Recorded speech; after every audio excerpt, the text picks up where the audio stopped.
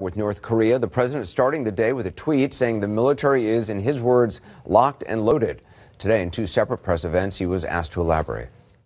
Mr. President, what do you mean by military solutions are locked and loaded as it relates to North Korea? Well, I think it's pretty obvious. Uh, we are looking at that very carefully. Uh, and uh, I hope that they are going to fully understand the gravity of what I said. And what I said is what I mean. So hopefully they'll understand, Peter, exactly uh, what I said and the meaning of those words. Those words are very, very easy to understand. Nobody loves a peaceful solution better than President Trump, that I can tell you. Hopefully it'll work out. But this has been going on for many years. Would have been a lot easier to solve this years ago before they were in the position that they're in. But we will see what happens. We think that lots of good things could happen, and we could also have a bad solution.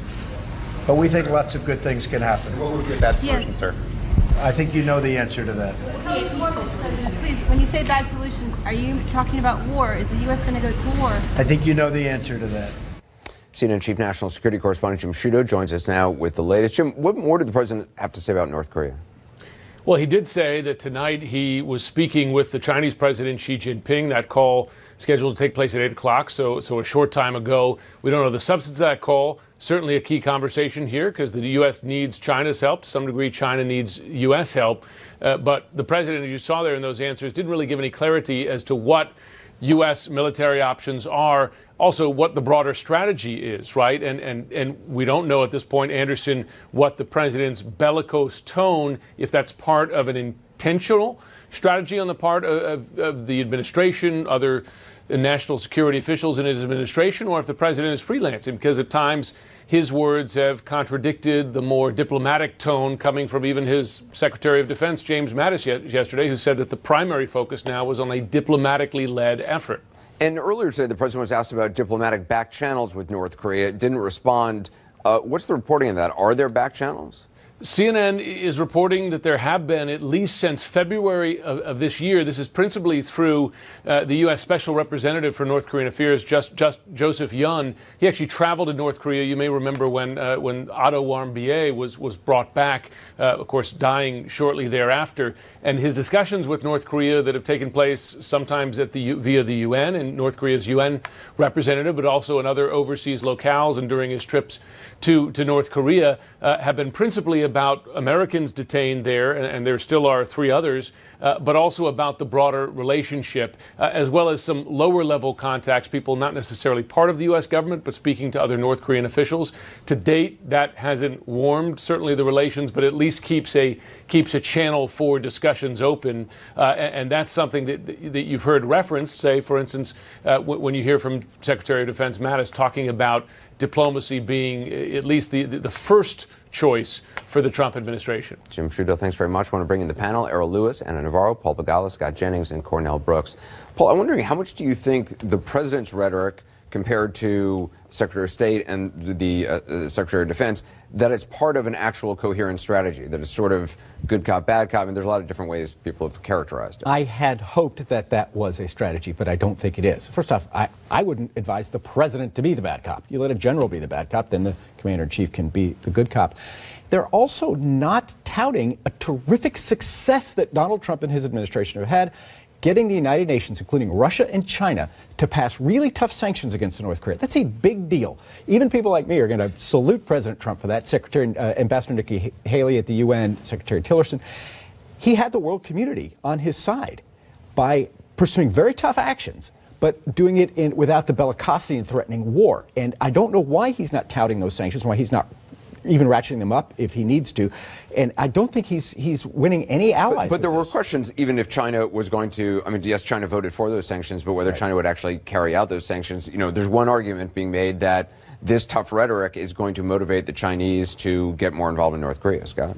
Yeah, I, I, think that his words are aimed at North Korea. They are as much aimed at China to try to get him in the game. I agree with Paul. It was an amazing achievement to get them on board with the sanctions, but that hasn't really ratcheted down North Korea's uh, rhetoric. And now we find out they may have miniaturized a nuclear weapon. I also don't think President Trump's position on North Korea is really all that different than what we've seen from other presidents. I mean, Barack Obama, less than one year ago, said, to be clear, the U.S. does not and will never accept North Korea as a nuclear state.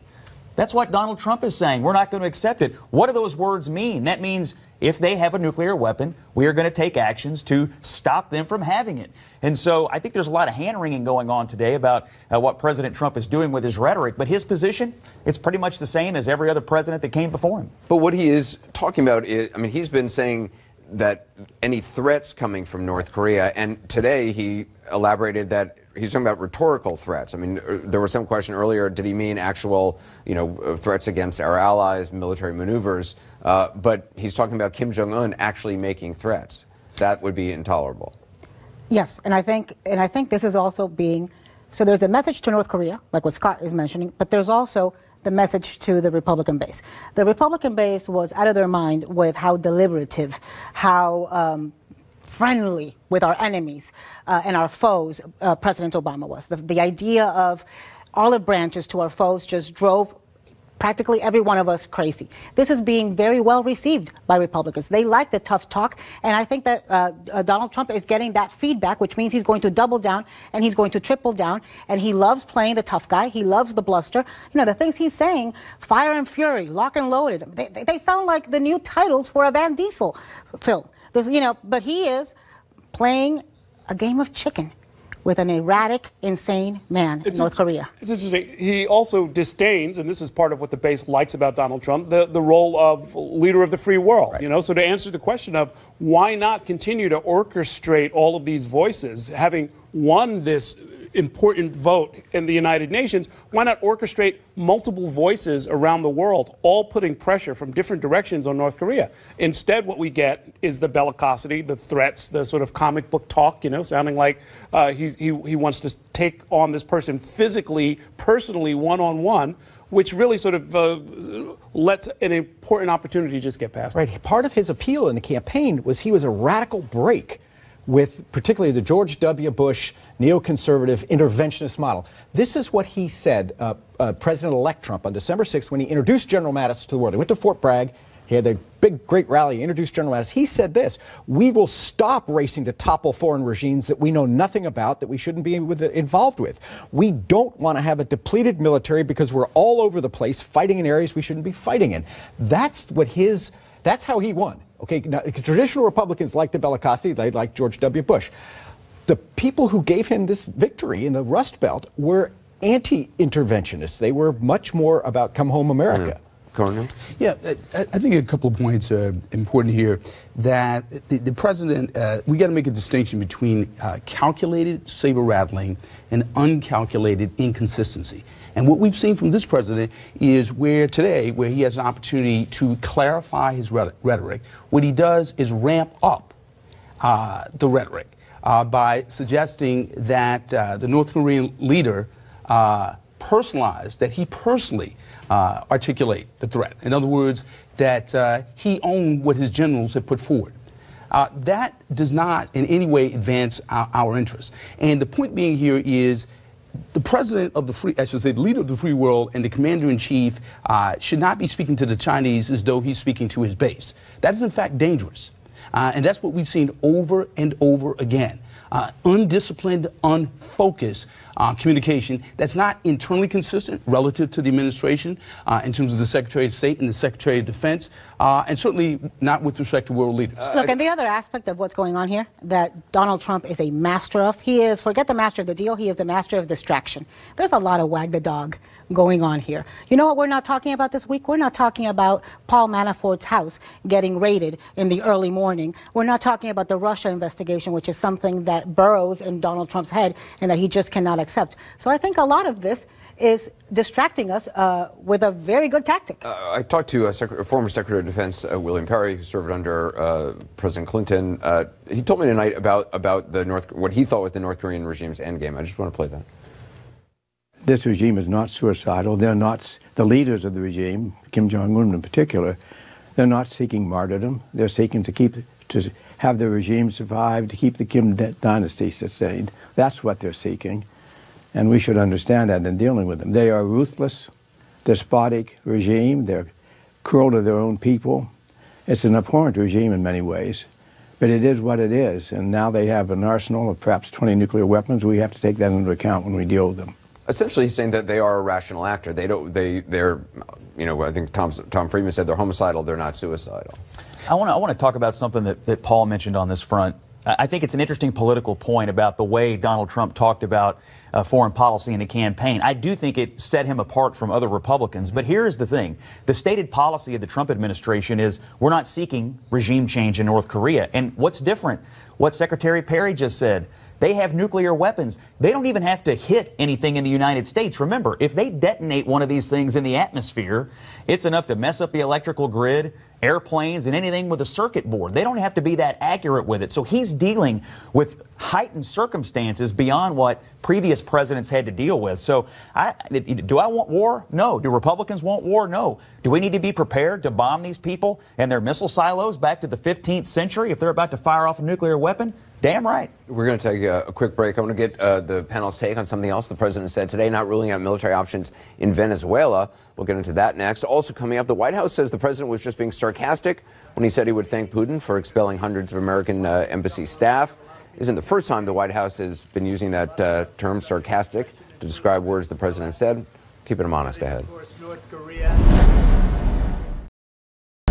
The president upped the rhetoric again from his golf resort in New Jersey this afternoon, and not just when it comes to North Korea. He's now bringing up the possibility of military action in Venezuela. I'm not going to rule out a military option. We have many options for Venezuela. Just last week, National Security Advisor H.R. McMaster said this when Hugh Hewitt asked him about Venezuela. Do you see a military intervention from any outside source? No, I don't, I don't, I don't think so. I think what's, what's really required is for everyone to have one voice about the need to protect the rights and the safety of the, of the, of the Venezuelan people. Just moments ago, Venezuela's defense minister called the president's remarks on military action, in his words, a crazy act. Back now with the panel. I know, Ana, you were tweeting about this earlier. It does, I mean, critics of the president have said this plays into the hands of Maduro in Venezuela, who has for a long time been talking about the U.S. trying to overthrow him. Right. I mean, Venezuela is a completely different situation, right? They're not aiming nuclear missiles at us. Uh, it's all an internal problem. I am glad that we're paying attention to what's going on in Venezuela. It has been going on for months and months and months. Hundreds of people have been have died. Uh, opposition leaders have been jailed. What's going on there is a disgrace. They are suffering. People are practically starving in what was a very rich country. And for far too long, the international community, including the United States, has sat idly by in silence watching this happen in our own hemisphere. Now, that being said, what Donald Trump said, I don't know what that means. What are we going to do? Like what we did with uh, Manuel Noriega in Panama, and you know, go in there and pluck him, uh, pluck him out, and bring him to a jail here. Does Maduro need to go? Yes. And what we need is for the Organization of American States. We need for the United Nations. We need for the international committee to get uh, community to get activated, impose sanctions, be hard. We need to support the opposition in Venezuela. We bring to need to bring light to the situation, but military action from the United States wag the dog. He, in fact, he got sanctions there too, not not uh, right. international, but he got the United States sanctions from the top Maduro thugs. And I completely agree with what you say about the regime. They're just appalling, and a terrible human rights record. They've been terrible for their country, and it's it's great the United States finally is standing up the way under President Trump. I'll praise him again. We, we did in the last couple of weeks. But this notion that now we should have a military option there, his whole thing, it's it's a Potemkin national security policy. The president says something, military options on the table, but thank God we never do anything. Right? We're not we're not massing troops in Southern Command to go invade Venezuela. By the way, we're not steaming warships toward North Korea. We're not removing dependents from either of those countries. Or, or there's a quarter of a million Americans in South Korea. We're not telling them. So there's like there's what President Trump says, and uh, uh, it's I think scary and maybe even crazy. And it's what the United States of America is doing. And so far, what we're doing are all the right things, both diplomatically and what we are not yet doing militarily. Yeah, Does it create then a schism between yes. what the president says and what the government is actually doing? I mean, it's just don't mind what he says. He's only the president. Which is which is very uh, you know which is very significant because at what point does he become the boy who cried wolf? If you know if there is no such thing as military action, if there is you know no such thing as action against North Korea, and I want to say that a lot of those sanctions that we've seen against Venezuela have actually been led by Congress. It's been people like Senator Marco Rubio, it's been people like Congresswoman Ileana Ros-Lehtinen, and Trump has endorsed them he's afterwards. He's, he's, not the boy who cried wolf. Remember, let's not forget, it was just a few weeks ago. He fired 50 something cruise missiles into Syria. He proved that he's willing to take action. when he feels like it's warranted. I don't think we're going to have military action in Venezuela, but I'm not sure it's a great idea for the commander in chief to take it off the table right out of the gate. I agree with everything both of you all said about Venezuela, but I don't think you can leave. Uh, I don't think it's wrong to leave something on the table, but not necessarily make it your uh, first, second, or third option. Well, but you know what? Not- to Paul's point earlier on, where you know, and, and to your point, where you were saying we're not doing regime change, that's exactly what he's proposing to do in Venezuela, which is completely inconsistent with what he said in the campaign. I want regime change in Venezuela. There are so many thousands and thousands of Venezuelans who are exiles in my hometown in Miami right now because what's going on in Venezuela is horrible. But what Donald Trump is saying is irresponsible. It's interesting, though. Oh, sorry, go ahead. It's one thing to take military options off the table. It's another thing to put them affirmatively on the table. And to speak in ways that are inconsistent with respect to Venezuela and with respect to North Korea undermines the president's cre- credibility in the aggregate. And that's a problem with this administration. That is to say, speaking in undisciplined, unfocused ways on a variety of issues and bringing up issues in inconsistent ways by the day and by the tweet. This is not presidential behavior. It's, inter- it's interesting, though. Uh, you know, the president has gotten a lot of criticism from reporters, in particular, about not holding press conferences. We've heard, you know, we've seen him now. I think he's taken some 50 questions in, in the last two days alone. Um, do you think this is some sort of a change? It, I mean, it clearly seems to like it. I mean, it does seem, these are not enforced, you know, forced briefings. Pe- People who have uh, reported on Trump have discovered, and God bless all the people who were stuck at a, you know, a, a stakeout at Bedminster and, you know, had no real availability and had no real hope of getting anything. And then they get the longest press conference since February. Um, he is impulsive. He does things sort of off the cuff. There was clearly no directed message that was the point of taking all of those questions. He likes to engage. It's one of the good things about being a, a journalist covering him. You know, it's he- one of the things that actually during the campaign, I mm-hmm. always, I mean, I always publicly sort of spoke well of him for is being willing to sit down for for a kind of a free ranging interview, and he would answer questions where you could disagree or not with what he said, but he would answer questions that other politicians wouldn't. I mean, remember there was that time like a gorilla got loose and got shot, and somebody said to him, you know, what should have been done about that, and he. He answered. Words like most poli- people running for president Harambe. would be like, "What?" Never forget. Right. exactly. Uh, we touched a bit on the president's rhetoric. We'll expand the conversation next, focusing on the White House explanation that the president's remarks thanking Vladimir Putin for expelling all those U.S. Uh, diplomatic personnel were sarcasm. In more than seven decades, not a singular nuclear weapon has been used in combat anywhere in the world. One reason rings especially true tonight. As the U.S. and Soviet Union acquired weapons capable of destroying civilization, they also learned how to confront one another short of launching missiles, including informal but closely adhered to rules of verbal engagement. Anyone a certain age remembers the language American and Soviet leaders used. It wasn't perfect, but we're probably still around because it worked. Today, whether he's aware of that legacy or not, the current president became part of it with respect to North Korea. I hope that they are going to fully understand the gravity of what I said. And what I said is what I mean. So hopefully they'll understand, Peter, exactly uh, what I said and the meaning of those words. Those words are very, very easy to understand. His message, he believes, is clear, self evident, needs no interpretation. Keeping him honest, though, on the very same day that he and his advisors were telling Kim Jong un to take the president's words utterly, literally, totally seriously, they were saying the opposite about this. I, I want to thank him because we're trying to cut down on payroll. And uh, as far as I'm concerned, uh, I'm very thankful that he let go of a large number of people because now we have a smaller payroll. That was the president yesterday appearing to thank Vladimir Putin for cutting 755 U.S. employees from the American diplomatic presence in Russia. Today, Press Secretary Sarah Huckabee Sanders said the president was being sarcastic. And it's hardly the first time we've all heard the president say something perhaps incendiary, only to be told later that he didn't really mean what he, we just heard him say. Time and time again, whether it's the president's tweets or off the cuff remarks, it's left his advisors scrambling to come up with alternative explanations or excuses. The president tweeted accusing President Obama of wiretapping him. Days later, his press secretary said that because the president used quotation marks around the word wires tapped, he really meant broad surveillance, not necessarily wiretapping. Of course, that was one of four tweets, two using quotation marks, two not, meaning perhaps he only half meant it. Who knows? Then there's this. Just recently, in front of police officers, the president made remarks on use of force that caused controversy.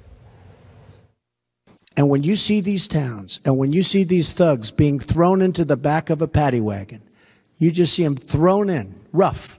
I said, please don't be too nice. Like when you guys put somebody in the car and you're protecting their head, you know, the way you put their hand over. Like, don't hit their head, and they've just killed somebody, don't hit their head. I said, you can take the hand away, okay? Well, this time the White House said the president was only joking. In big ways and small, wa- small, from the president on down during the campaign as well as his presidency, the message has been the president does not always mean what the words coming out of his mouth might indicate, or as one surrogate famously put it, You know, the media always is taking Trump literally. It never takes him seriously, but it always takes him literally. I think a lot of the voters who vote for Trump um, take Trump seriously, but not literally. It clearly served candidate Trump well, may even serve President Trump well in certain respects. However, at a time when the lives of millions of people in South Korea, North uh, Korea, Japan, Guam, American service members, Chinese, all depend on Kim Jong un taking the president both seriously and literally, is now really the best time for the president to be less than clear and straightforward about everything he says. And just to come full circle on the remarks, the sarcastic remarks about Vladimir Putin, the president weighed in again on that this evening, and as you might notice, reopened the door to the idea that maybe he wasn't kidding after all. Mr. President, were you being sarcastic when you thanked Vladimir Putin for expelling 755 diplomats from Russia? In order to reduce our payroll, absolutely. I think you know that. I you think you really know that. We'll see. Uh, in fact, uh, I was just speaking to.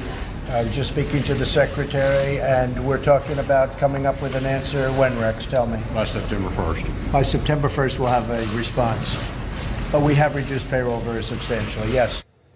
Back now with the panel. Joining us also is Trump biographer Michael D'Antonio. Michael, just in your experience with Donald Trump as a civilian, I mean, is sarcasm something or humor something you heard a lot from the president?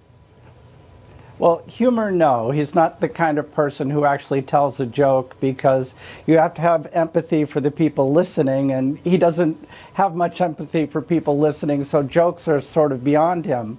But sarcasm is sort of his forte. He's often very sarcastic. It's a way of cutting someone down and using a sort of bitter rhetoric to make a point, but it also allows him to declare what he really meant after the fact. So he can say something, see how it goes over. If it goes over well, then it was serious. If it doesn't go over well, well, I was only kidding. It was I was only sarcastic. It's sort of like the guy who goes out with his wife and says a cutting remark about her dress and then on the way home says, "Well, I was only kidding. I, I, I really love your dress." You know, he can have it both ways and every which way by doing this. Is it, I mean, obviously, when you're president, every word you say is parsed.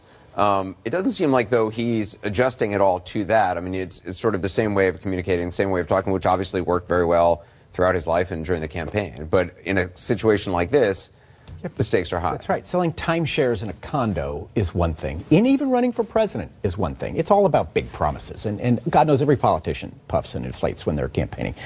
I get that. But when you're the commander in chief of 1.4 million people under arms, when you have 4,000 nuclear weapons at your sole command, you'd better be really careful about your words, especially about those forces. I think it should be about everything, but can we at least get him on those forces? He has around him some of the best generals our country has produced. He's got General Dunford, a Marine general, who's his chairman of the Joint Chiefs. He's got General Mattis at the Pentagon. He's got now General Kelly as his chief of staff. He's got General Henry McMaster from the Army as his national security advisor.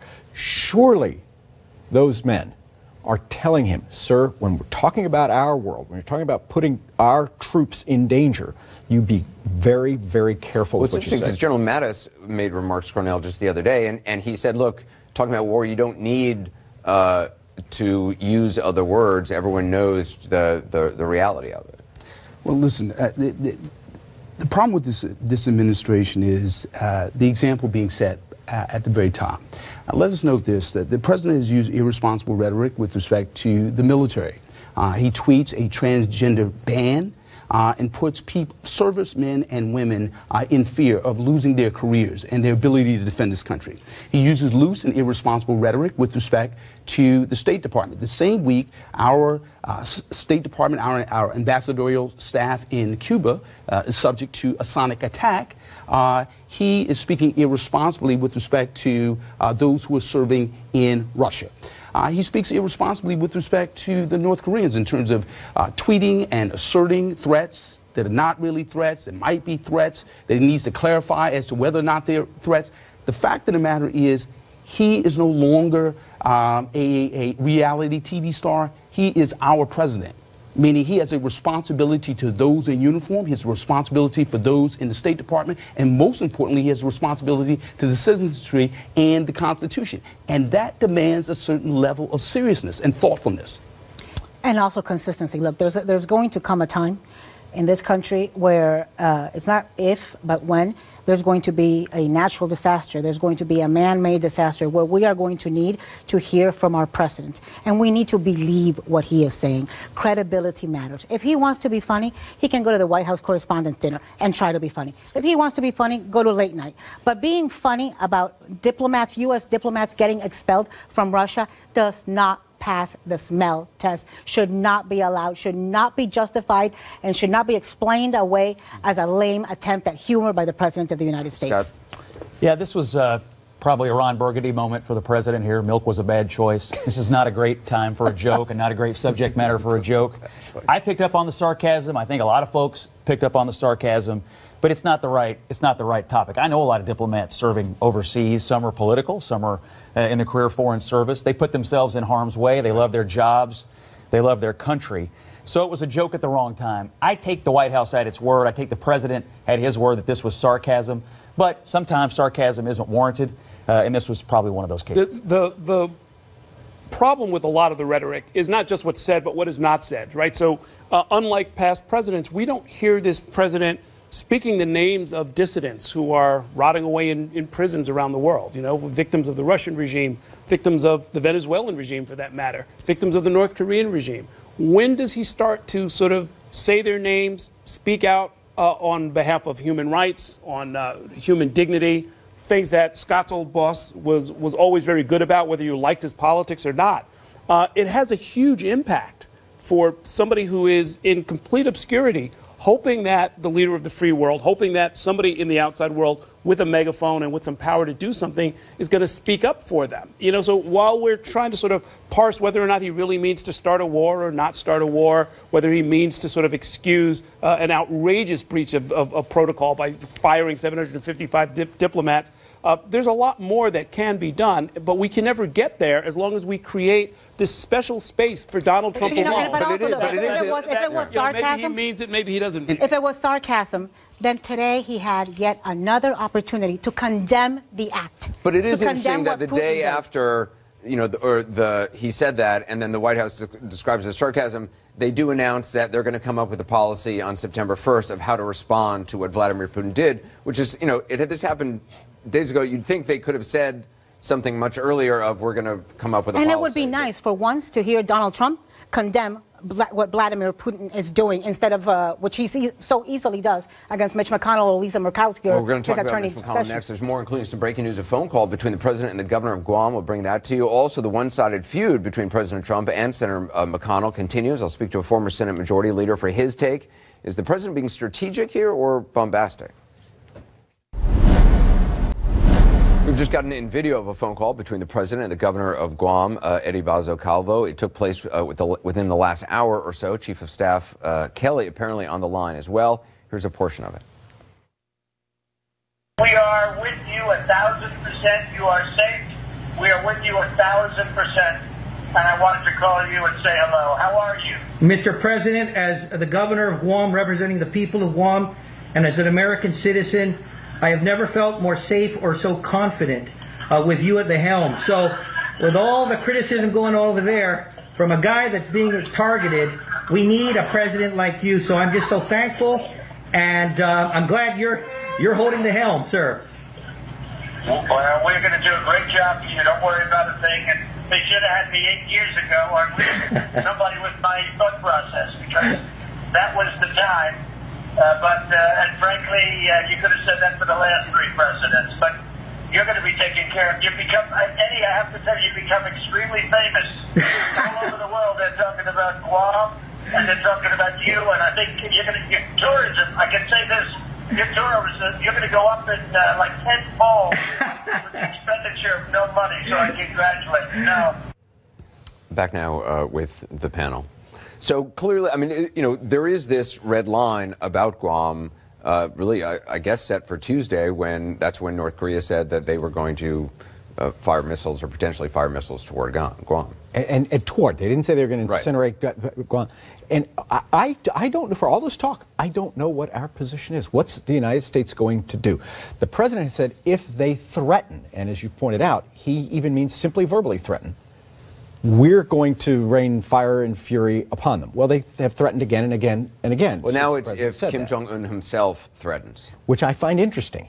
Over there, Kim has his generals say the really bellicose things, and now he's holding back, which I think is actually a better communication strategy than our president being the bad cop and the generals being the sane ones uh, beneath him. But politically, I mean, to Ana's point earlier, doesn't that? Uh, I mean, there's an argument to be made that it helps the president, you know, for, look strong and and for the people, you know, people rally around the president. Yeah, I, ju- I have a, a different view of his base. They, they, they are uh, uh, isolationist types. A lot of the people who put him over the top.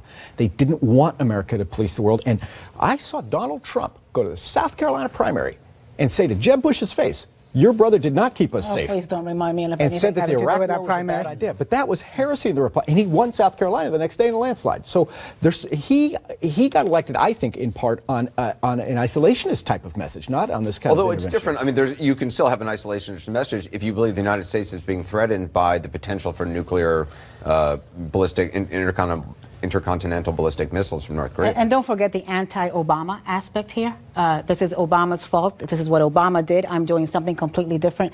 That plays very, very well with the Republican. base. I- isolation, isolationism, to your point, is about not policing the rest of the world. Guam is us.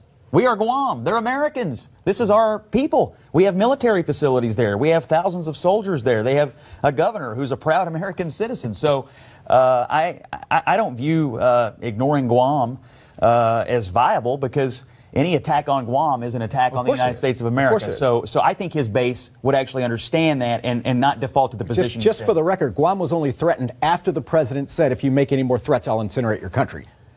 Okay, th- th- this didn't begin with Guam. This began with, with uh, North Korea testing uh, missiles, most importantly, and apparently now having the capacity to miniaturize a warhead. But then our president then s- starting to say, if you even threaten, I'll incinerate you, which I think is, is too bellicose for most Americans. Note, note this the, the, the president has drawn a red, purple, pink line relative to North Korea, but he's also drawn a red line relative to his predecessors. So, in other words, he said relative to President Bush and President Obama, uh, I'm not going to do what they did, not defining what he will do.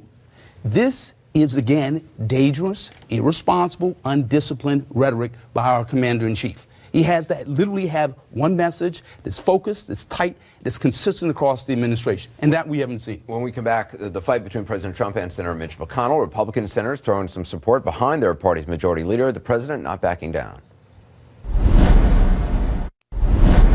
For the third day in a row, the president went after the Senate majority leader of his own party, Senator Mitch McConnell. Take a look. People have been talking about repeal and replace for seven years, long before I ever decided to be doing what I'm doing. Seven years they've been talking repeal and replace, and it didn't happen. And not only didn't happen, it was a surprise. And it was a horrible surprise. And it was very unfair to the Republican Party and very unfair to the people of this country.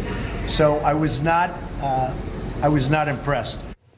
Well, the strategy doesn't seem to be working so well for the president. Already, high ranking GOP members are speaking out in support of McConnell, while the senator himself is not taking the bait, instead, sticking with no comment. Earlier, I spoke to former Senate Majority Leader George Mitchell, who's also a friend of Mitch McConnell, for his take on all of this. Senator Mitchell, as former Senate Majority Leader yourself, when you hear the president publicly attack Mitch McConnell now for the third straight day, I'm wondering what goes through your mind. Does it make sense? I think it's unfair and unwise. Think for a moment about what Senator McConnell did. He persuaded 96% of the Republicans in the Senate to vote for a bill that had the support of only 17% of the American people. A bill that was so bad that some of the Republicans who voted for it denounced it in advance and other Republicans who voted for it insisted that they be assured in advance that it would not become law before they voted for it. And yet he got 49 out of 52 votes. I think that's rather extraordinary. I don't think it was the manager that was the problem, it was the message. the substance of the bill that was advanced in the Senate and in the House would just be disastrous for the American people if they were enacted into law. And so I think with the president's action, first misplaces the blame, and secondly makes it harder for the president in the future because that vote in the Senate reflects, I think, in part, a, a support for Senator McConnell within his caucus. Is there a strategy, though, from the president's standpoint in criticizing McConnell? Uh, you know, does it help him with with the people who elected him? Does it help him with his base to, to show that, or to, to try to create some distance between himself and, you know, historically unpopular Congress? Uh, well, I'm unable to discern any strategy that would be helpful to the president in this regard, except the one of avoiding responsibility for any failure and pinning it on someone else. But I think it's a real mistake to antagonize the majority leader, especially since, as I said, Senator McConnell, I think, through his tactics and approach, uh, achieved a truly remarkable feat of getting 49 out of 52 senators to vote for one of the worst bills that's been presented in the Congress in recent years. I don't agree with Senator McConnell's politics, but I think he himself representing the cause of the Republican Party and administration has done a very good job tactically. What's what is the the you know strategic danger for the president in doing this and in, in, speaking you know ill of, of McConnell and going after him day after day? I mean, I'm sure in the past not all presidents and their majority leaders have gotten along privately. Uh, this is, I think, uncharted territory, uh, Anderson. I, am not sure how it will turn out. Uh, Senator McConnell hasn't said much in recent days, but he's bound to be antagonized by this. It can't possibly help him at home. I think it will anger some of his colleagues, uh, many of whom have rushed out to support him, to express their support for him. They'll make calculations on their own futures, but I can't see how this can possibly help the president in the difficult legislative struggles that are ahead. He still has got health care, he's got infrastructure, he's got tax reform. He's got a whole range of issues that confront him, and I would think he'd want to take steps now to modify his criticism of the Senate Majority Leader because I don't think he's going to be able to replace him. Senator McConnell, uh, I know, paid you a compliment once saying that while he didn't agree with your politics, he wanted to run the Senate much, much more like you did by treating everyone with respect in an open, a collegial way. Do you think he'll be able to move beyond the public jabs that he's been receiving? Yes, I do. Uh, I think he has a responsibility, not just to the president, obviously, he has to the members of his caucus, but everyone there has a higher responsibility to the country, to the Constitution. And I think I know Senator McConnell pretty well. I regard him as a friend, although, as I said, I don't agree with much of his politics, nor he with mine. I think he'll be able to rise above it and still move forward on the legislation that they have, but it's bound to have an effect with him and with his colleagues. And it also poses a risk in the House. What do the House leaders see when they observe this in the Senate? Anything goes wrong, they're going to get the blame. Mm. Senator Mitchell, I appreciate your time. Thank you. Thanks for having me. We have more breaking news tonight in Venezuela. The story accelerating tonight in the wake of the president's remarks mentioning that U.S. military action there was possible. The White House saying that Venezuelan President Maduro has re requested a phone call with President Trump, and the White House has responded this way, quote, President Trump will gladly speak with the leader of Venezuela as soon as democracy is restored in that country. Back now with the panel. Scott, do you see that as. We just sat out here a few minutes ago, and everybody but me sort of poo pooed the idea that the military option should be left on the table in a statement by the president. And look what happened. He leaves the military option on the table, and the president of Venezuela freaks out and calls the White House. I'd say the president's words got results today. Uh, he wasn't. Maduro was not freaking out. Maduro was calling the White. By the way, that was a perfect response from the White House. Maduro was not freaking out. He was calling the White House to stage a publicity stunt, to do what Anderson said uh, at the beginning, which is that this helps him yes. say, you know, we it's the the imperialist pigs against us. That's the message. He was doing a publicity stunt. He got, he got he was going to by Donald Trump. Tape himself. He, I mean, he's you know. He got a gift from Donald Trump. Maduro is a right. thug and an autocrat, and now he's a dictator. And the one thing he needs is the great uh, American colonial power. You know, their currency is called a bolivar. Okay, they're all about standing up against imperialism. And now, for the president to, who should be standing for democracy, he's actually, probably unintentionally, bolstering Maduro by giving him an external threat to rally his country against. Now, And- that and being I- said, his, all right. the White House's response is pitch perfect. Very good, yes. We should not be talking to. There's also uh, obviously a history here of U.S. intervention uh, in the region, which obviously resonates with some people in Venezuela very strongly. No, listen, we I- saw it in Nicaragua. We've seen it in Central America so many times, in Panama. You know, this, uh, th- this has happened in Grenada. This has happened over and over. Republic. right. What, what um, do you think the president continues to talk about Venezuela? I mean, is this a subject you, you expect to hear? Because we really haven't heard much from him on this. I- If Does he know where it is? He said it's very close to our neighbors. Well, it's 2,000 miles. I mean, in, I guess, global sense, maybe that's kind of in the neighborhood, but 2,000 miles is a big neighborhood.